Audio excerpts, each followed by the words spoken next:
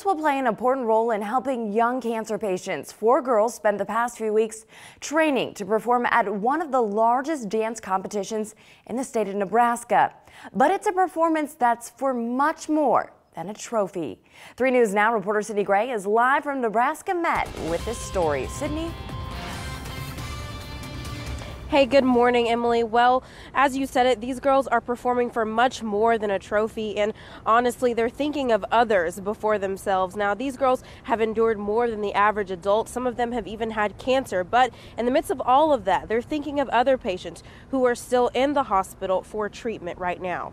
And the girls were all patients at Nebraska Medicine at one point, and although this group is in better health now, they remember what it's like to be confined to a hospital bed. So, with that in mind, it's a Child's Life Foundation partnered with the Vintage Ballroom Company, and together they'll they'll work to raise money to purchase gifts, games, and books for other children. The girls' doctors will dance with them this weekend at the Nebraska Dance Festival.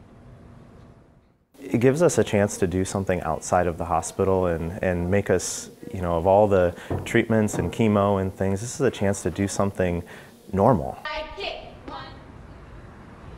And the girls' dance instructor says taking dance lessons gives the girls the opportunity to move and ex- exercise their bodies for the first time um, since many of them began treatment nearly a year ago.